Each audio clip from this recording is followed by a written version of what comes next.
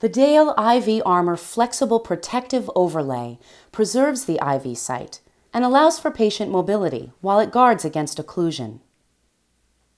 Begin by securing and dressing the IV line according to your hospital protocol.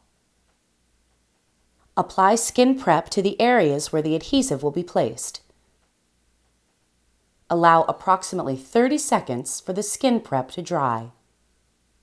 Next, center the pad over the IV and dressing and determine if the length of the legs need to be shortened to prevent overlapping. If necessary, cut the legs before removing the liner. To apply the Dale IV armor, pull back the liner and press it against the skin in one motion to adhere it to the patient. Repeat this procedure on the other side. Do not stretch to apply. To inspect, lift the center section gently from the top or the bottom to view the IV insertion site. One size fits most. The Dale IV armor can also be worn by pediatric patients. The IV armor can also be used to cover peripheral IVs on the hand and forearm.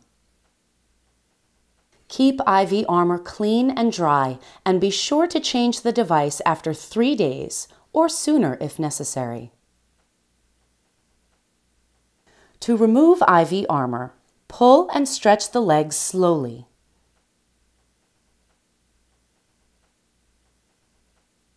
Adhesive should be removed with care to avoid skin trauma.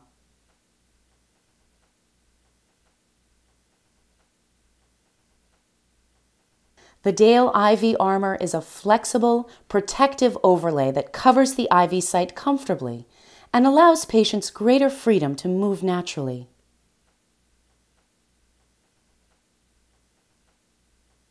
IV Armor helps to eliminate downstream occlusions and enables clinicians to easily assess the IV site.